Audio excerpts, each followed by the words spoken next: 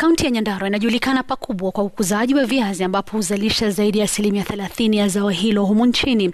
Hata hivyo, wakulima hukabiliwa na changamoto za ubora wa mazao na bei duni. Mkulima mmoja kutoka Marekani ameapa kubadilisha taswira hiyo kwa kutumia teknolojia ya kuzalisha mbegu kupitia vipandikizi vya shina. Mwanahabari wetu Dennis Otieno anazamia mbinu hiyo ya kilimo kwenye makala ya wiki hii ya kilimo biashara.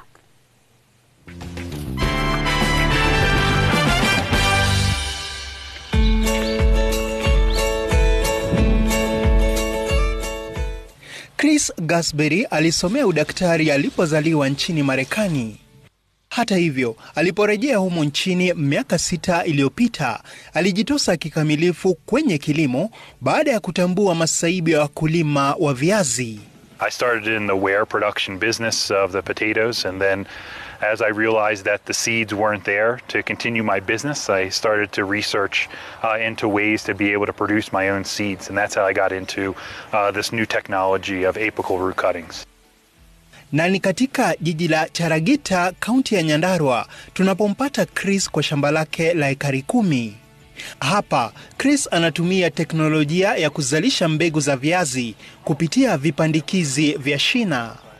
Vipandikizi hivi vinafanana na mbegu inayopandwa kwenye kiunga cha miche, tofauti kuu ikiwa ni haizalishwi kupitia mbegu.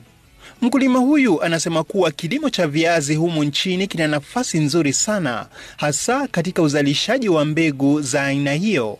With just the farming practices that we're introducing uh, with this model, uh, we've actually doubled production for some of these farmers in that you'd see the average farmer can produce around 60 bags per acre.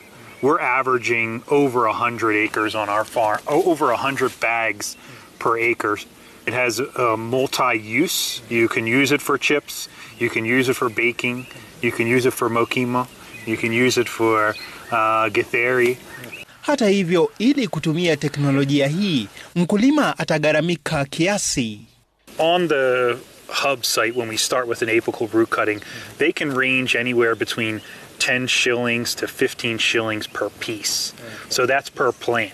So if you're looking at it on an acreage, uh, you use about 17,000 to 20,000 cuttings per acre. So it's somewhere between 200,000 to 250,000. Mbali na kuboresha kiwango cha mazao, Chris anatumia mbinu hii kuwezesha wakulima kuepuka madalali wanaowanyanyasa. Dennis Otieno, Runinga ya Citizen.